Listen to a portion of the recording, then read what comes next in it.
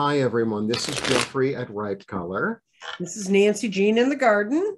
And we are here to give you the, well, to offer you the uh, uh, daily reading. So we do a, a, dual reading. I read cards and um, Nancy reads the stones in the garden. And uh, please like, subscribe, share, comment, press the bell for notifications. Um, you could visit my site. I, am a textile artist and I also Tarot. Uh, Nancy uh, forms gardens and grids. They're, they are available for purchase. Uh, all the information is below. I also um, do astrology t-shirts and um, I have all signs and they're really cool. And the more you buy, the more you save. yes. Okay, so the way we read questions when we're doing these dual daily readings is we look for what's going on around the collective. And if it, if it fits to you, it'll give you kind of a path to, to, you know, ropes to skip and ropes to know. So that's where we are.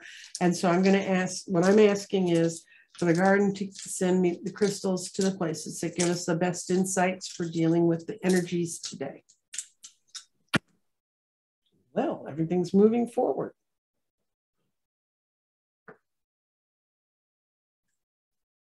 Wow. Yeah, it's cool when it comes out like that. Mm-hmm. All right, away we go. Okay, Jeffrey first. Okay, body changes. Lots of changes, lots of um, realignment. There's like a realignment going on. Mind, lots of new ideas, lots of fertile energy, lots of um, lots of um, creative thoughts coming through. Can you see that? Is that yeah. glaring? No, it's fine. Mm-hmm. Spirit. I mean, this is one of the best cards in the deck. This is um, really your intuition talking to you. This is an amazing card. So um, this is really, really about being rejuvenated, reborn, re- mm-hmm. reanimated, um, coming back to life, right? In a new way with a new understanding. And it's also intuition. This is Gabriel blowing the horn, hearing your intuition, hearing the messages uh, the grounding comes from you know inviting spirit in to receive the messages. And uh, the clarity i think actually the clarity might come from uh, a disappointment. I know that sounds strange but i think the clarity might come you know like an understanding of the disappointment that you've had in the past and being able to like integrate it and say okay that was that was a disappointing thing. That was something that didn't work. And it's information now for me to move forward. Okay. This is my uh, clarity. And my clarity fell between fire and water. And when it's in fire, it means use the ideas you carry from your past. The past lives hold your solutions. In other words, if you go back into someplace you've been, that's a solution coming forward. But the fact it's in water says you have all the clarity you need, you have all the signposts to move forward. Okay. And then it gets really freaky with what you talk about because we have the body between water, go for it, and true. Water on my board means things are moving forward. Go for it means exactly what you think, it means go for it and true.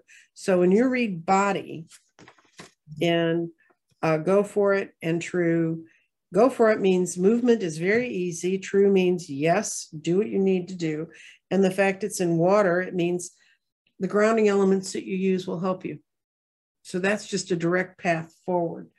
Then we have our values sitting back here in water, solidly, completely in water. And it ground, it says grounding changes the setting for your long-term plans. So this is someone moving into a long-term change in pattern. And then honest to God, my favorite spot on this board is go for it. Uh, and because I had visions that created each one of these spaces. And in that one, I remembered something I'd forgotten as a child, but I hit a hole in one one day.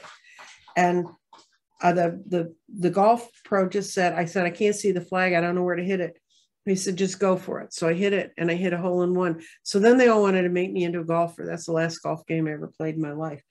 Um, but go for it means movement is very easy. And the fact that the spirit says it's in true is it's yes. So whatever you're thinking about doing, it's a yes. Now we get the clarity on what this whole reading's about.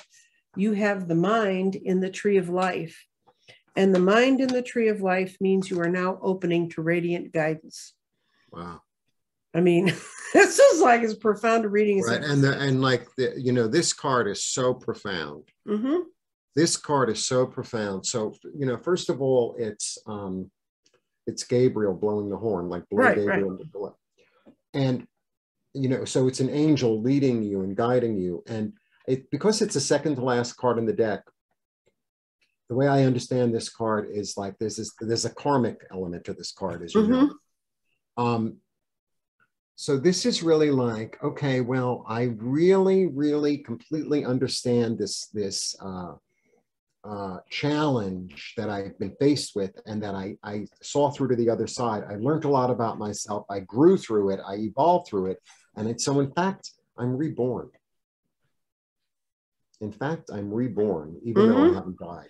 And that's Right. what this is. This is this is a complete reemergence of yourself. It's all aiming out. It's moving away from the stagnant energies or the Right, having to grow and struggle to do. right. So, Yeah.